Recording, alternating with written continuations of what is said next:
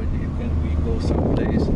For instance, here on the winter, uh, not every winter, but for instance, this year was flooding here, mm -hmm. and uh, people are uh, going. Some, it's very dangerous.